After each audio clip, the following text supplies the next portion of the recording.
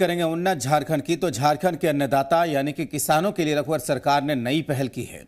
किसानों को कृषि चौपाल के ज़रिए उन्नत खेती के गुर सिखाए जा रहे हैं।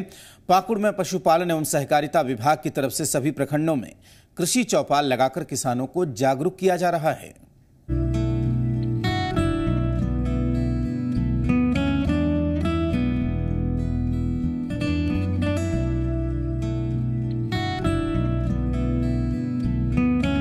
रघुवर सरकार की कोशिश है कि राज्य में किसानों को उनके मेहनत का पूरा हक मिले।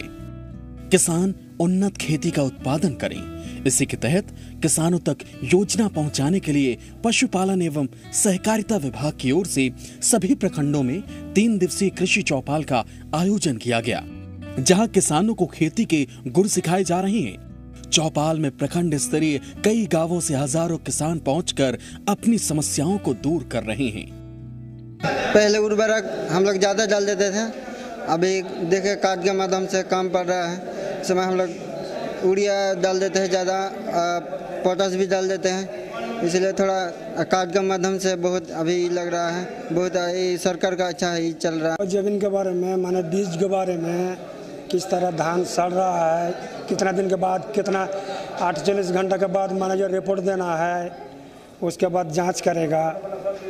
उसके बाद माने ये खर्चा मिलेगा कुछ किसान को। इसी तरह मैंने ट्रेनिंग दिया हुआ है।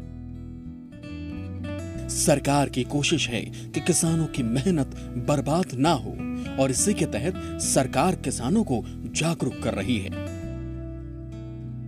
किसान को कृषि विभाग पशुपालन विभाग मत्स्य विभाग उद्यान विभाग डेयरी विभाग और सहकारिता विभाग, कृषि से संबंधित जो भी विभाग हैं, उनके द्वारा कौन कौन सी योजनाएँ संचालित है, उसके बारे में किसान भाइयों को बताया जा रहा है। हमारा झारखंड सरकार, राज्य सरकार द्वारा निर्देश है कि आने वाले 2022 तक किसानों का आमदनी को दुगना करें।